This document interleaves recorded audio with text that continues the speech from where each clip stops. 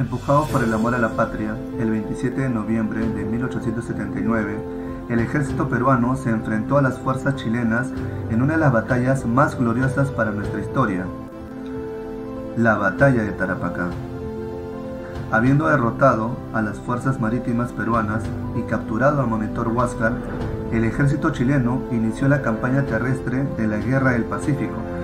El 2 de noviembre, los invasores chilenos desembarcan en el pequeño pero estratégico puerto de Pisagua y derrotan a los defensores peruanos en San Francisco, donde los pocos sobrevivientes peruanos terminan retirándose a Tarapacá. Enterados de esto, los chilenos deciden atacar sorpresivamente a las tropas peruanas. Sin embargo, un arriero logró informar a tiempo a las tropas peruanas, quienes, pese al cansancio y al pobre equipamiento militar, lograron armar una feroz y hábil defensa, liderados por el héroe nacional, el mariscal Andrés Sabino Cáceres.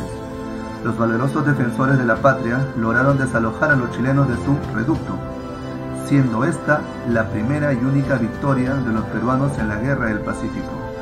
Tras esta sorpresiva victoria, se inició la persecución de las huestes chilenas. Lamentablemente, el ejército peruano no contaba con caballos y estaba casi sin municiones, motivo por el que se abandonó la acción. El cépite escala el cerro por el lado oeste, con empuje irresistible desafiando los tiros que el enemigo descarga sin descanso sobre ellos.